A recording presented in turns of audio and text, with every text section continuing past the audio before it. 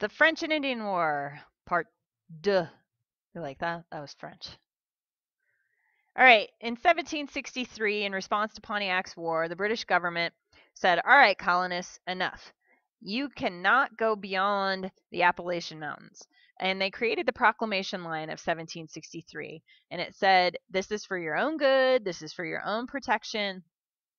And American colonists really viewed this line as an obstruction to their economic freedom and development.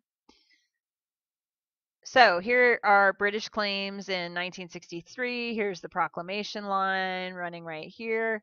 And you can see that this is part of that introductory introduction of parliamentary sovereignty.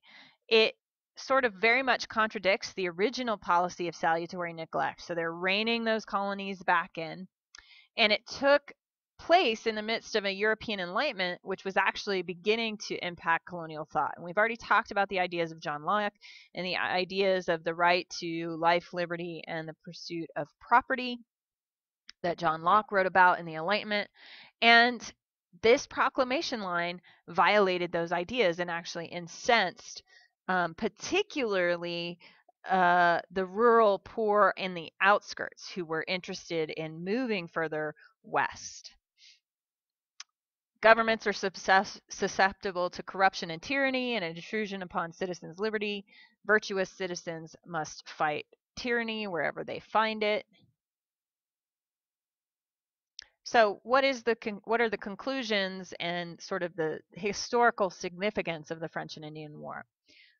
Well, Despite mounting tension by 1763, most Americans were loyal brothers to England because of a shared British culture, a shared language, dependence on British consumer goods, and shared nationalism after the defeat of France.